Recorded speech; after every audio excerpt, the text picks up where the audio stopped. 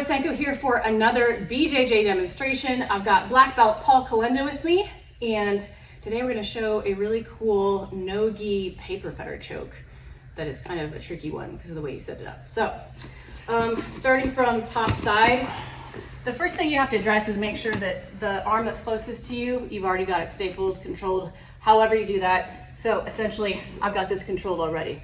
Once I get here, what I like to do you know, when you start playing with this wrist, and it looks like I'm gonna set up a key lock or an Americana, Americana, whatever you guys decide to call it. I like calling it a key lock.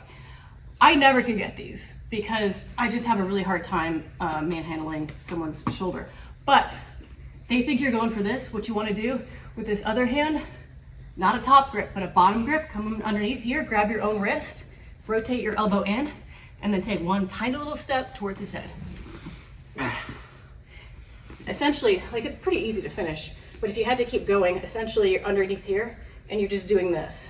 You're creating this motion. So again, from side control, I've got this arm controlled.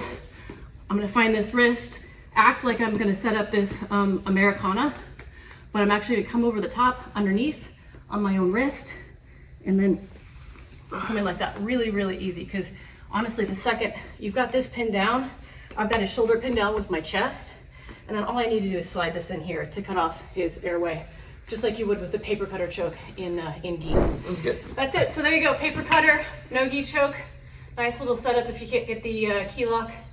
There you go. Guys, thank you so much for always watching. I appreciate you. Hit like, hit subscribe. We'll see you next time.